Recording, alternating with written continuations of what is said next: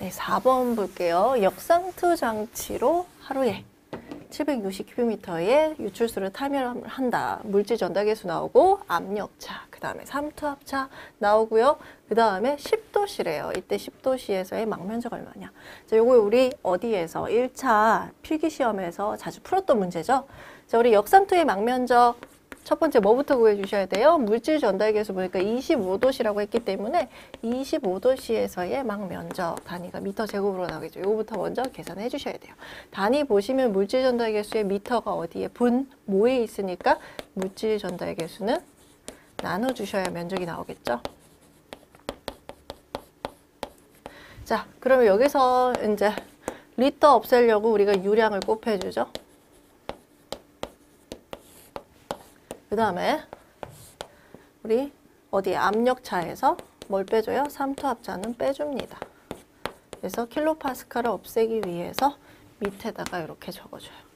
자, 그 다음 여기는 cubic meter, 여기는 리터니까 1 cubic meter는 1000리터 단위 환산을 해주시면 리터, 리터, cubic meter, cubic meter 없어지고 남는 건 뭐만 남아요?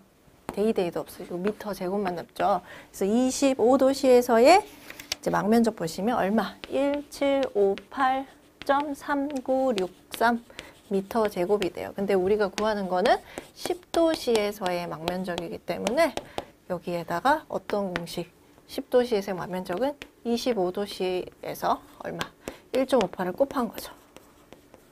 그래서 25도시에서 구한 거에다가 1.58을 곱해줬더니 얼마? 2778.27 나오네요. 반올림 하시면 이렇게 나옵니다. 단위는 주어져 있으니까 우리 숫자로 2778.27 이렇게 적어주세요. 자, 5번 볼게요. 공정 순서가 잘못된 것을 바르게 고치고 이때의 포기적 용적을 구하시오 그랬어요. 자, 침사지 다음에 스크린이 나왔네요. 이상하죠. 우리 항상 어떻게 스크린 다음에 침사지 나오죠. 벌써 틀린 거 찾았어요. 그래서 스크린, 침사지, 그 다음에 1차 침전지, 포기적 혹은 그 다음 2차 침전지, 그 다음 응집, 부상, 유출 이렇게 되겠죠. 그래서 잘못 위치 지금 고쳤습니다. 요게 1번의 정답이 돼요. 그래서 스크린과 침사지의 위치를 바꾼다 이렇게 적으시면 되겠죠. 그 다음에 2번 유입유량이 나오고 BOD 나올 때 포기조의 최저 그러니까 부피를 구하라고 했죠. 그리고 힌트로 뭐가 나냐면 FMB 나왔네요. 우리 F/M비 공식 어떻게 해요? F/M비는 위에는 food, BOD 부하 밑에는 미생물 부하 VX 이렇게 되죠. 자 그러면은 F/M비 값이 0.4 per day래요. BOD가 얼마? 600mg per 리터. 그 다음에 유량이 얼마? 만 cubic meter per. 그 다음에 체적 우리 모르지만 단위 cubic meter 나올 거고요. 그 다음에 MLSS가 2,500mg per 리터 이렇게 나오겠네요. 그래서 단위를 없애주시면은 이제 뭐가 나와요? 단위 다 똑같으니까 요 V가 구하면 V가 단위가 큐빅미터로 나오겠죠. 그래서 V를 구했더니 값이 얼마가 나오냐? 6천이 나오네요. 그래서 1번에는 스크린과 침사지 위치를 바꾼다. 2번은 6천 큐빅미터 이렇게 적어주시면 되시겠어요. 자, 그 다음 6번 하수 배제 방식 분류식과 함유식 비교하는 거 나왔어요. 우리 분류식은 오수랑 우수 따로 설치하는 거고 함유식은 오수, 우수 큰 간에 하나로 설치하는 거죠. 자, 답안 중에서 이제 선택하는 거예요. 이러면 여러분 이 문제는 반드시 맞추셔야 되죠. 시설은 누가 더 싸요? 큰 간 하나가 싸고 작은 간 두 개, 2차선 까는 게 훨씬 더 비싸죠. 그래서 가가 고가, 그 다음에 나가 저렴이 됩니다. 토사는 어디에 많이 들어와요? 함유식에 이제 우수까지 들어오니까 토사는 함유식에 많이 들어오고요. 분류식은 적게 들어오죠.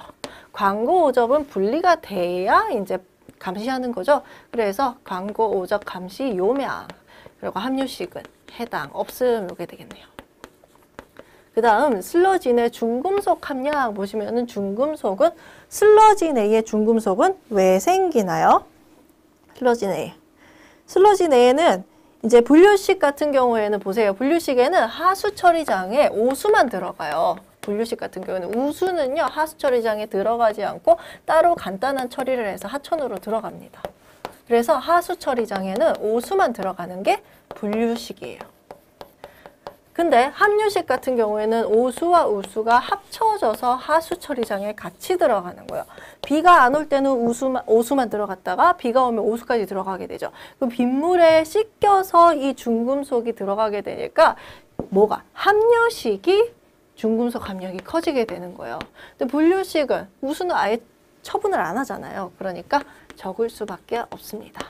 그다음 5번 광거 폐쇄 가능성 관은 작을수록 막히는 거예요. 그래서 분류식은요 폐쇄가 가능하고 함유식은 관이 크니까 덜 막히겠죠. 그래서 금, 저금 이렇게 적어주시면 되시겠어요.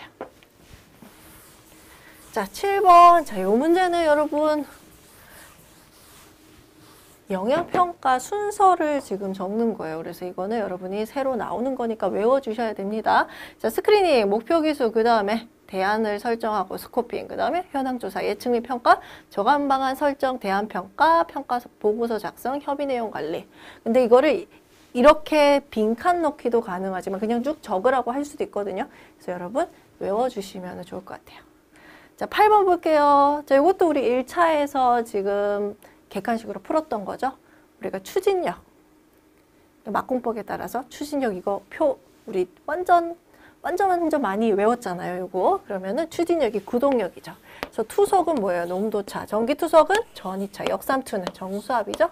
그래서 요 세 가지를 투석 점점 해서 농도차, 역삼투 점점 해서 정수압차, 그다음에 전기투석 점점 해서 전이차 이렇게 적어주시면 돼요.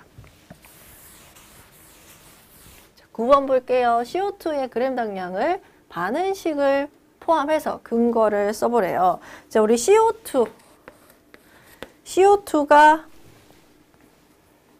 어떻게 쓰면 될까요? CO2가 얘는 약산이잖아요, 그죠? 그래서 약산이니까 들어가면은 CO2는 어떻게 A, H 플러스와 CO3, E 이렇게 쪼개지겠죠, 그죠?